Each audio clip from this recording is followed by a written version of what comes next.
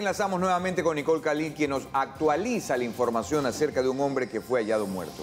Esto sucedió justamente en el barrio del Seguro, al sur de Guayaquil. Adelante, Nicole, te escuchamos. Cuéntanos, ¿se trata de una muerte violenta o no?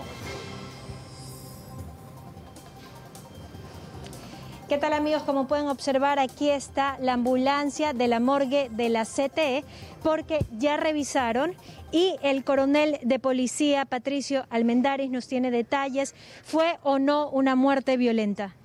Bueno, eso todavía está en investigación. Este rato el Servicio de Investigación de Accidentes de Tránsito de la Agencia Metropolitana de, Tránsito de Guayaquil eh, ha hecho la inspección junto a los funcionarios de criminalística. De ¿Pero encontraron disparos en el cuerpo de la persona? No, superficialmente a una inspección visual no se ha encontrado ningún tipo de herida de arma blanca ni arma de fuego hasta el momento.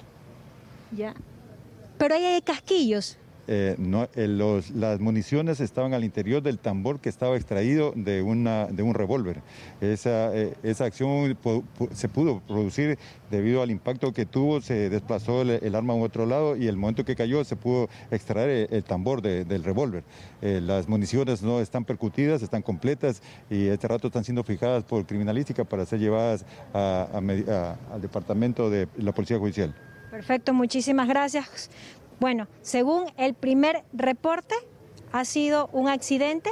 El cuerpo no tiene eh, signos de violencia, ni de acuchillamiento, ni de disparos. Como pueden observar, eh, justo atrás mío acaban de llegar los familiares. Ya averiguaremos quién era este señor y por qué estaba armado. Esto es lo que les puedo informar. Continuamos con más desde estudios. Buenas tardes.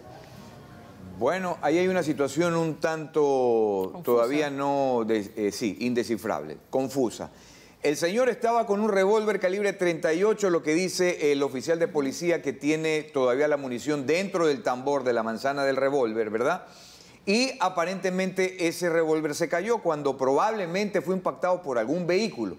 Es más o menos de, eh, lo que se conoce en primera instancia. Es decir, Saquia, puede ser que a lo mejor fue atropellado este, esta persona, iba a cometer algún ilícito, algo ahí no está claro todavía.